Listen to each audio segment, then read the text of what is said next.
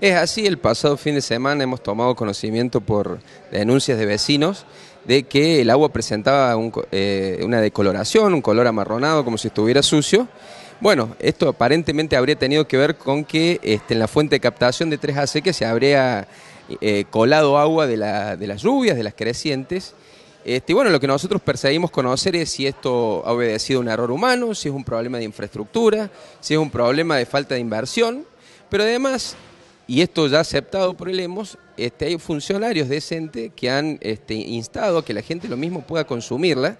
Digo, bueno, nosotros ahí queremos conocer si ha realizado algún estudio para determinar que esta agua sea potable o no. Me parece que es bastante poco serio instar a la gente que tome agua que por lo menos presenta este, un color amarronado. De todas maneras, lo que queremos nosotros es que esto se evite para el futuro, cualquiera sea el motivo que lo haya originado, pero además y aprovechando que este tema eh, se instala, este, volver a rediscutir, porque estamos ante un servicio que es muy caro,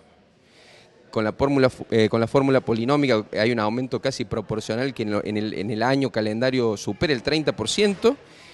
superior a cualquier índice inflacionario del país, y la contraprestación del servicio no es de calidad. Y aparte, empezar a discutir nuevamente la posibilidad de que se instale un medidor en cada vivienda para que la gente en definitiva termine pagando lo que consume. Particularmente se presenta este proyecto con ese fin o también teniendo en cuenta lo que pasó en una localidad vecina, Río Cuarto, como fue en Cabrera, con la contaminación que se gestó hace un par de meses atrás. Bueno, evidentemente todos estos antecedentes que uno conoce lo hacen prender la, alerta en función de esta situación, que no ha sido la primera vez, lo que sí fue la vez más notoria, porque evidentemente había vecinos que se servían un vaso de agua y el color era marrón. Lo que digo es que hay que tratar de que esto no vuelva a pasar en el futuro, ver qué estudios se realizan cuando esto pasa como para decirle livianamente a la gente que pueda consumirla y que esto no se vuelva a repetir.